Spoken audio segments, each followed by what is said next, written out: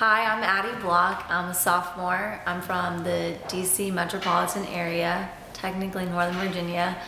Um, I'm a double major in Middle Eastern languages and cultures and geography.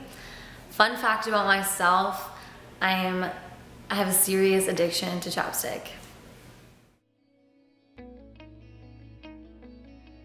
Uh, I ride for several reasons. I ride for my friends and family. More specifically, I ride for all my grandparents. There's my grandpa, Bob Bop. He's a five-time skin cancer survivor. There's my grandma, Grammy, Grammy Betsy. She's a breast cancer survivor. Um, there's Grandma Harriet. She died of lung cancer before I got to meet her.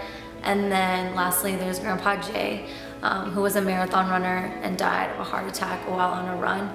Um, and I also ride for the, D the DC area um, in general because in DC we talk about politics, politics, and more politics. And I want other issues such as cancer research or cancer support to bring us together instead of um, politics because they deserve far more attention.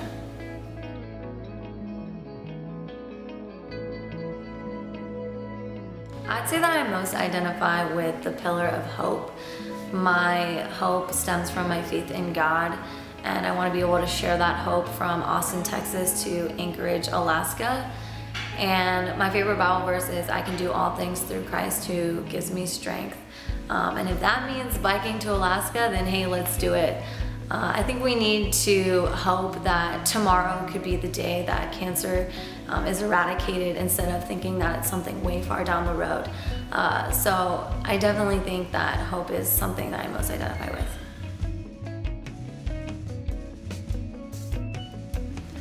Besides the awesome tan lines and nice calves, I'm looking forward to uh, presenting programs to different communities between Austin and Anchorage.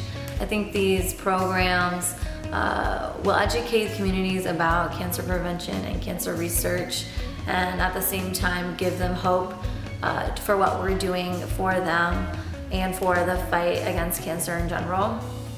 Um, I'm also looking forward to reaching Alaska, of course, and seeing my family. I think that will be a really surreal moment and the biggest accomplishment of my life, for sure.